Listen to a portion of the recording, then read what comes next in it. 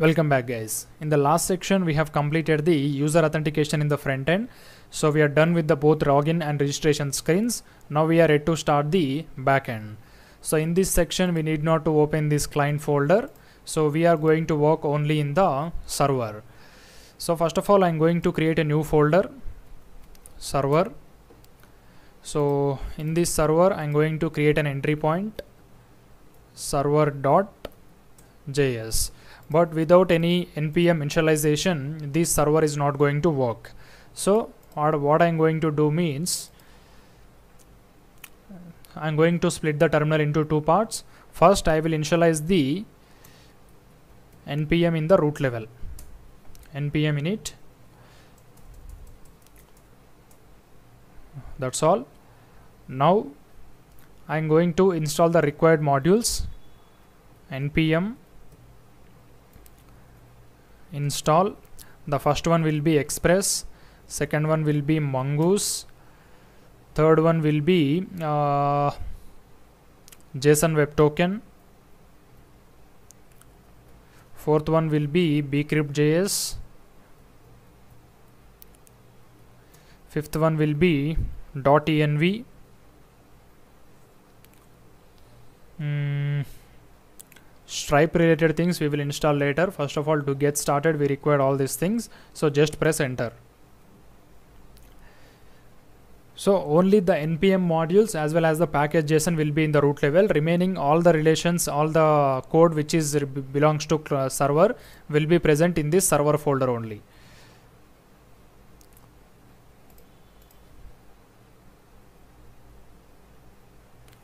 Yep here you can see we got the uh, is ready. And we also need to install nodemon to start the server. Npm i nodemon. That's all. So now let's expand the server. Here i'm going to write const express is equal to require express. Const app is equal to express. So app app dot listen so not on the localhost 3000 port. Const port is equal to process.env.port if it is not available we are going to take it 5000 because in the 3000 we are already running the react app port. So if it runs successfully i am going to write server started on port number 5000 so this is the simple backend code so let me run this. Nodemon server slash server. Because we are present in the root folder we are accessing the server file which is present inside the server folder. So press enter. Here you can see I got the message server started on port number 5000 so now let me create the folder structure also. First of all we are going to have the routes then models. So if you have any middlewares you can have it. Obviously we are going to have the authentication middleware and config. Mm, apart from this if you require anything new we will add it on the fly. So that's all guys. This is about the uh, node.js and express.js setup. So in the next lecture we are going to work on the mongodb setup. Thank you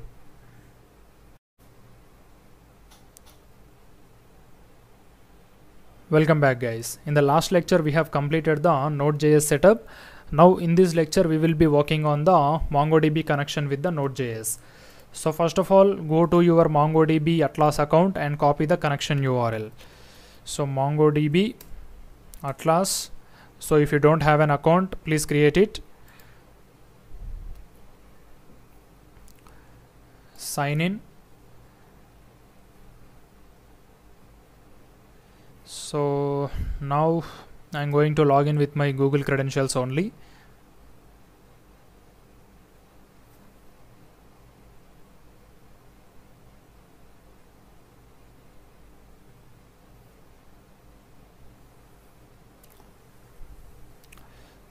Introducing a termination production no. So this is my MongoDB dashboard. So you have all the statistics of your usage so we don't need all this stuff. Let's go to the browse collections. Now here I'm going to create a new database. Shea Wallet Udemy.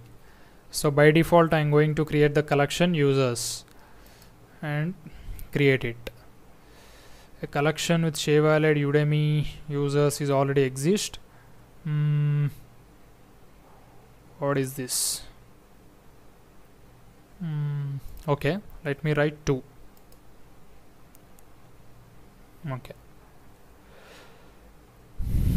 Mm, Shea Wallet. Udemy 2 so this is our DB fine. So let's go to the uh, close this. Somewhere you should have the connect button. Mm, where is that? Yeah connect button. So we are going to connect using the compass. So if you click on this you are going to get the connection URL with your uh, MongoDB link. So copy this and open your mongoose. Sorry not mongoose compass. So MongoDB compass. Expand this. So I'm just clicking on this connect button. So that URL is same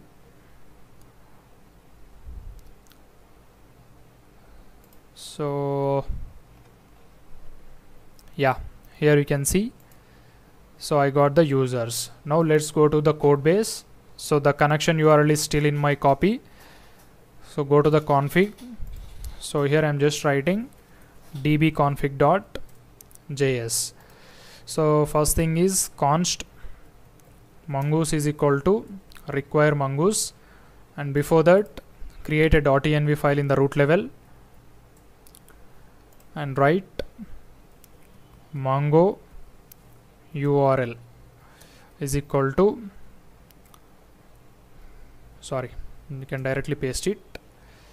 So instead of this test just have Wallet Udemy 2 and change this appropriate password. That's all so mongoose is okay. Now I'm just writing the code to connect the MongoDB and Node.js so const connection is equal to mongoose dot connect process dot env dot mongo url now I am going to write const connection result is equal to simple connection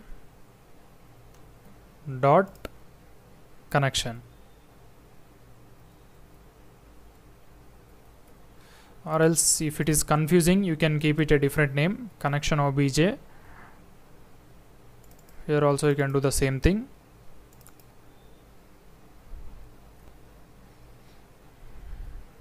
Mm, instead of this just get rid of this. And now connection result is equal to mongoose dot connection. Yeah. So now connection result dot on so we are going to have the callback methods like on and connected. So connection result dot on error we are going to write console dot log console dot log connection error. Connection result dot connection result dot on connected on connected connected to database or I'm just writing our normal thing.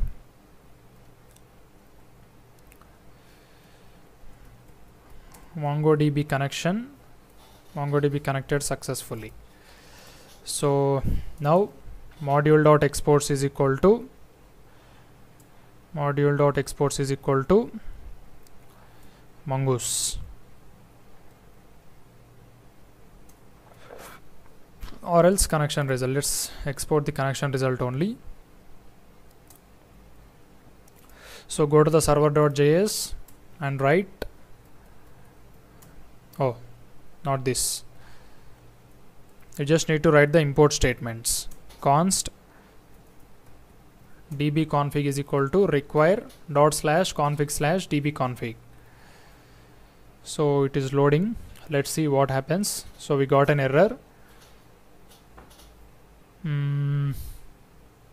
listener argument. Let's restart the server because we didn't restarted the server after adding the .env still the same. Mm, I think we have to write some code to import the .env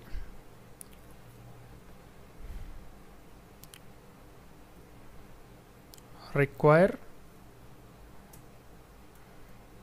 .env config. So dot .env is also there but still the same.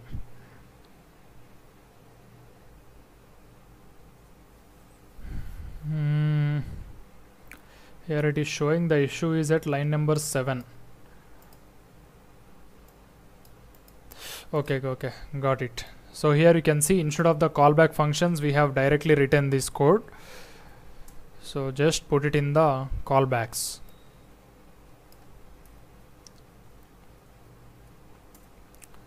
Now this should be perfect.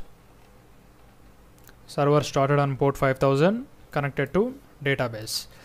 So our database connection is also fine. So in the next lecture we are going to work on the user authentication in the backend. Thank you Welcome back guys. In the last section we have completed the backend setup like Node.js server setup as well as the Node.js and MongoDB connection. So now in this section we are going to wrap up the authentication by building the login and registration APIs. So before getting started with the login and registration APIs, first we should have the user model. So we can also call this as user as well as the account. So in lot of the scenarios we will call it as the account only but we are building a wallet not the bank account. So I'm just calling it as user. So let's go to the server models.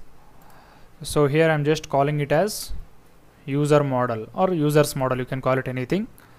Dot js so const mongoose is equal to require mongoose. Then const user schema is equal to new user schema. So first we'll start with the first name. First name type string required true. Similarly last name type string required true close it similarly email same. Uh, after email we have phone number.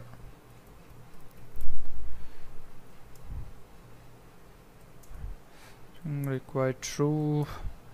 Then we have uh, identification type. Identification type. Type string required true then identification number type string required true. Then address. Type string required true. And at the last you are going to have the password. String required true. So these are the fields we are taking from the user from this form registration form first name last name and all this stuff etc now I am additionally going to attach two more properties. The first one is verified is verified. Because we need to approve only verified accounts to login because it is a wallet or banking application. Where is verified. So if this account is verified type boolean default false. This is okay and the next one is is admin. So only admin can verify. So we will create one admin account. So the admin can access all the user accounts. So if you want to verify he can verify. Else he can reject. That's all. So now I'm going to create the timestamps also. Timestamps true so we have the user model. So let's go and export this. Module dot exports is equal to mongoose dot model. The collection name should be users and the schema is nothing but user schema. So we have the model ready. Now we can build the user route. So let's go to the users route dot js so const router is equal to express router. Then I'm going to write const user is equal to so I'm uh, require model slash user model. So let's have the first endpoint register user account user account that's all. So now I'm just writing. So for the register endpoint I'm going to show our API structure how every API should look like. So first we are going to have the comment at the top. Then we are going to have the followed API so in every API first we are going to have the try catch block. Try catch so now in the try catch first we will perform all the operation. If anything goes wrong it will go to the catch block. So in the catch block I'm going to send response dot send method. So message is equal to error dot message. And one more thing we will send success. Success is equal to false. So this is our response structure in every object or every endpoint so now let's uh, work on this register. So we have to encrypt the user password right? For that I'm going to use const bcrypt is equal to bcrypt.js so first I'm going to write const uh, password is equal to mm, or else not like this. I'm just writing the code for hashing the password hash password. So first we have to create the salt by using this bcrypt object with uh, 10 rounds. Now I'm going to write const hashed password is equal to await bcrypt dot hash. So in the hash method the first parameter is the plain text that you want to encrypt. So we want to encrypt our request dot body dot password. And then the salt number of salt rounds is equal to this salt variable so now I am going to attach this to the request dot body request dot body dot password is equal to hashed password. Now you can write the save method.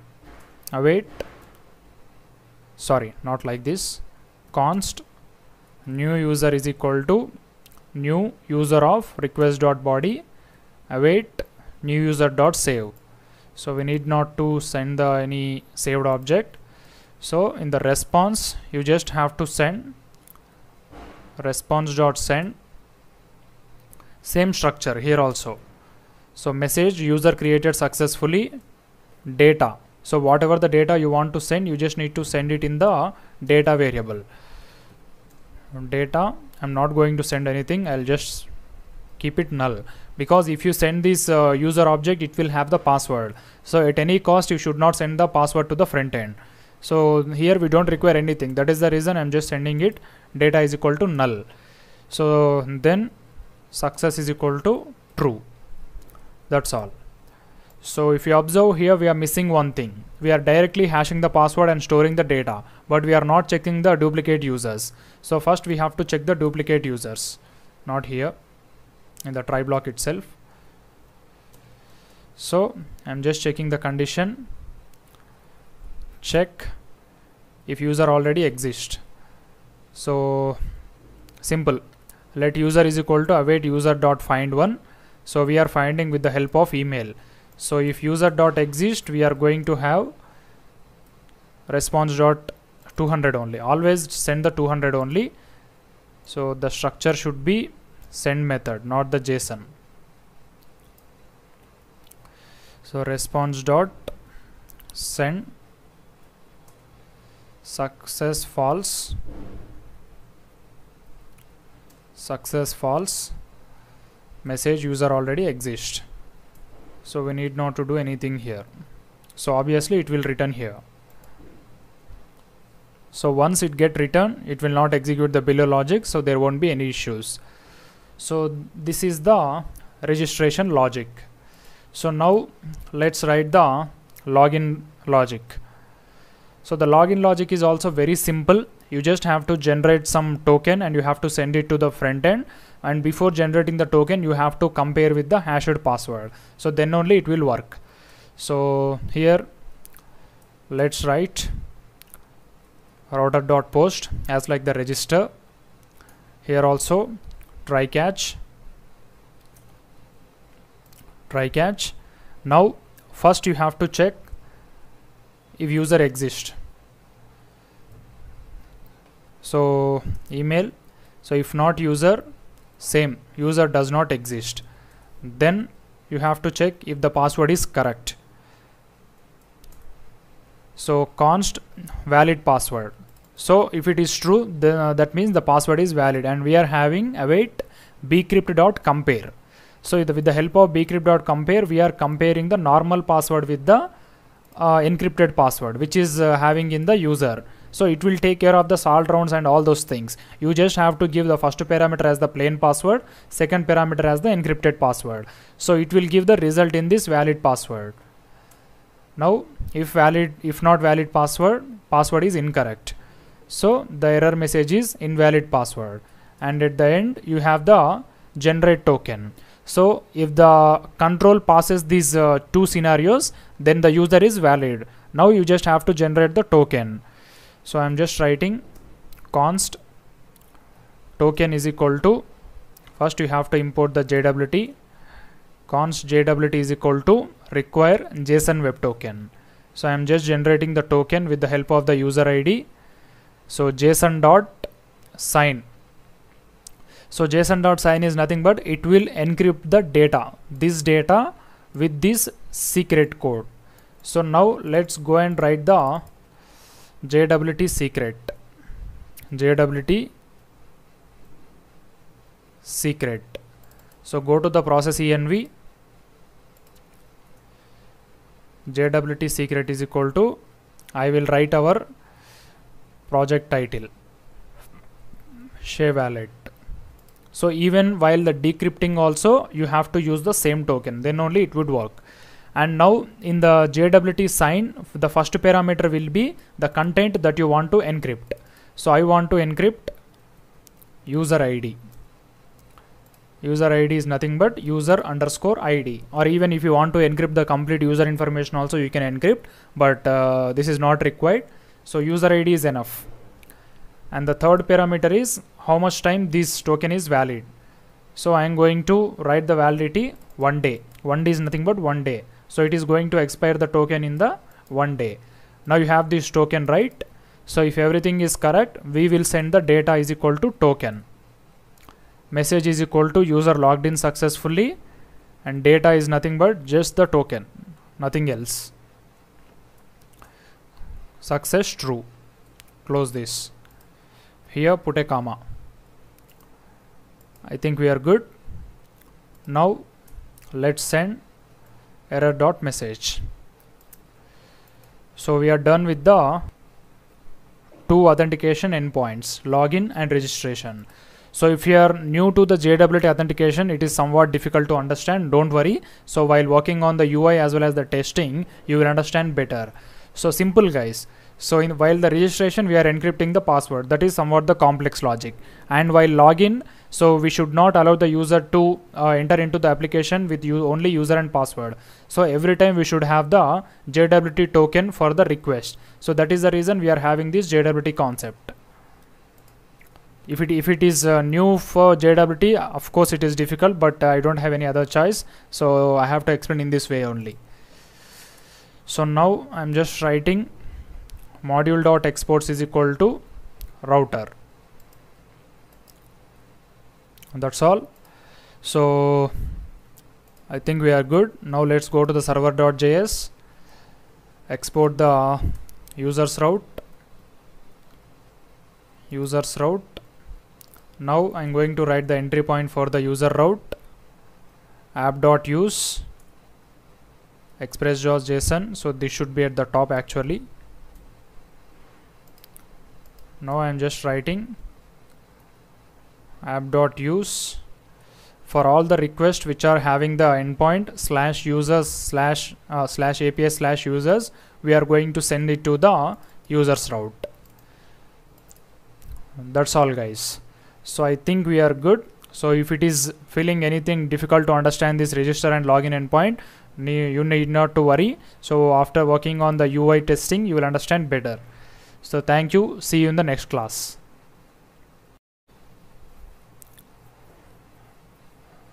welcome back guys. In the last lecture we have completed the login and registration endpoints in the backend. So now in this lecture we are going to integrate that endpoints to the front end and we will call that and we'll test everything. So first of all in the front end you have to add the proxy which is nothing but the backend endpoint. So proxy is equal to localhost 5000 this is fine now let's go to the uh, src api calls users so here i'm going to have my first api call and before that i'm going to have a new file called as the index.js so for every API call, I don't, I need not to write the Axios dot post and all this stuff. First of all, we have to install the Axios. I forgot that. Sorry. npm i Axios. So because after the login and registration for every API call you have to send the JWT token in the headers. So instead of sending that in the every axios.post and axios.get you can have the axios instance. So by default headers will be sent in that axios function. So let me restart the server. Even you have to restart the backend also because we have added some new variables in the dot .env so here I'm just writing import axios from axios. So now I'm just writing export const axios instance is equal to axios dot create of course base URL will be localhost 5000 but we need not to do this. It will all uh, automatically go from the proxy. So we just need the headers. Headers is equal to so we will send headers in the form of authorization. Authorization so it should be bearer slash local storage dot get item token. Because after the login we are going to store the local storage with the help of the uh, token. Like this. So if I could tell this Axios instance concept after the login that would be easy. But uh, right now also try to understand this. So now let's go to the users so let's import that Axios instance. So it got imported. Now I'm just writing the first API call login user. So I'm just writing export const login user so here you can see I'm following the capital thing everything login and user. So we will get the payload from the what it is uh, uh, component login page. So I'm just writing try catch block here also. Try catch so const data is equal to axios uh, sorry await axios dot post slash api slash user slash login. And we are sending it as payload. And we are returning the data to the component from wherever it is called. And here it should be same error dot response dot data so I think we are good. And now let's go to the second one register user. Same export const register user. So I got the snippet. So const data is equal to await axios instance dot post slash api slash users slash register. And payload will be coming from the component. And we are returning the data. So everything is looking cool. Now let's go to the pages. Index.js so this is the onFinish function right? So here also you have to write the try catch block. Try catch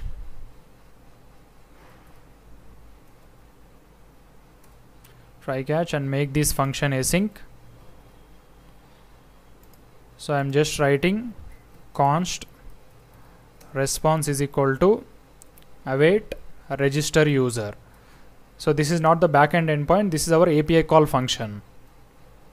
So now I'm just writing if response dot success mess oh sorry message message from the entity message dot success response dot message and navigate to login.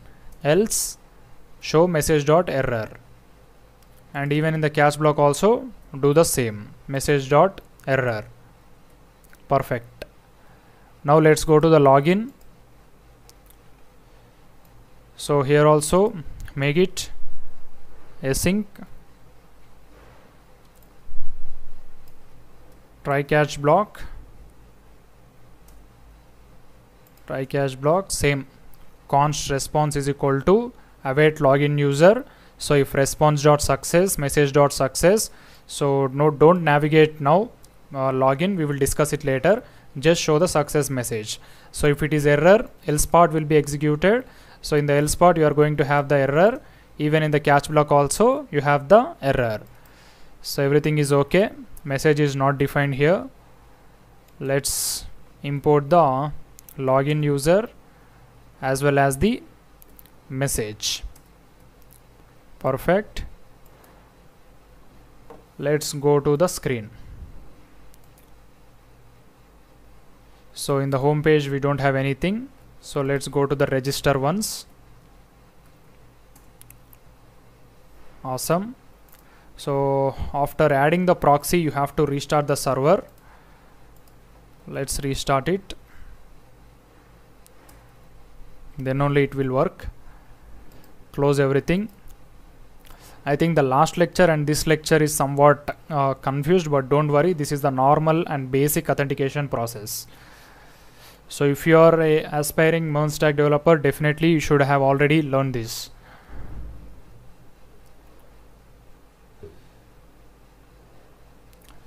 I think for the first time we may get the errors because we did a lot of complex functionality in the sim1 lecture. Network.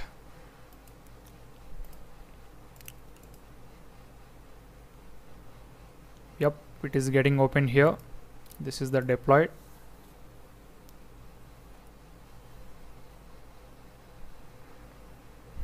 hmm it got executed. So let me go to the register once. Yep so the register got open. So let's open the network. Similarly so as like every time let's start with Ronaldo. Last name den. Email ronaldo123 at gmail.com mobile number 963 963 9630 identification number 1234 passport uh, address I'll keep it India for the time being password 1234567 here also 1234567 so let's hope for the best and click on the register button. So users validation failed phone number is required so let's see what we are sending from the phone number in the front end. Pages register index. Where is phone number? Okay so you have the mobile number. So keep it as phone number.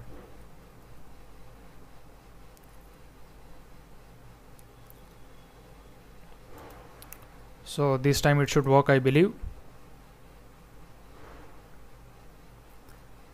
phone number is still required. What the heck is this? Already we changed it right?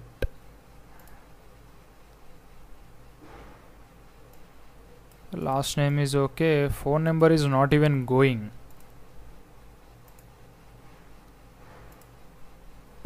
Hmm. What happened okay let's refresh and try this. Ronaldo. Sorry. Done email. Ronaldo123 at gmail.com mobile number 96396396330 driving license 1234 address India. Password 12345678 confirm password 12345678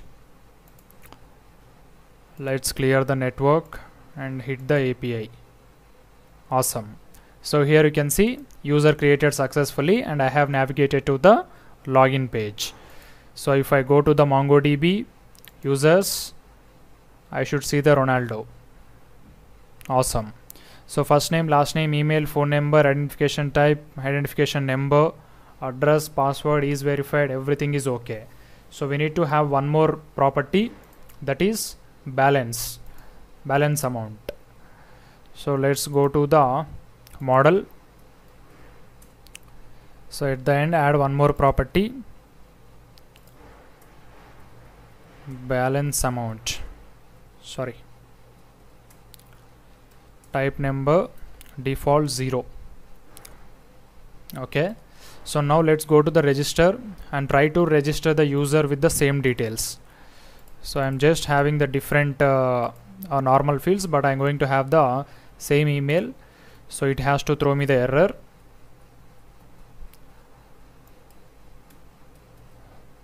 So I'm just using the same email. Register. User already exists awesome. So registration logic is working. Fine. Now let's go to the login so our user is ronaldo123 at gmail.com password is 1234567 let's get rid of everything in the console and network. Register. Data is not defined. What the heck is this?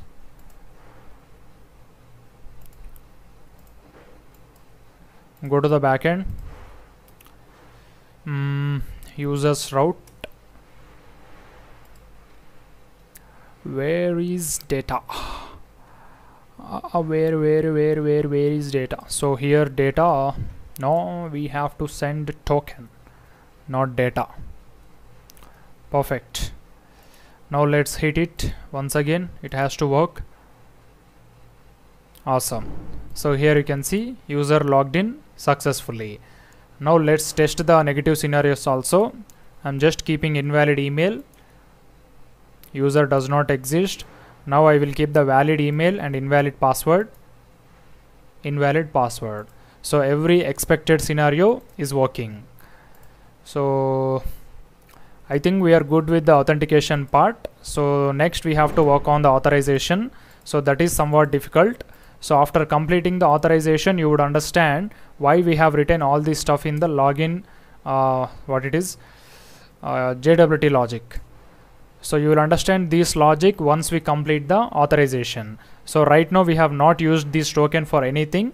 So once we complete the authorization section you can easily understand why we are using where we are using how it is working etc so thank you. See you in the next section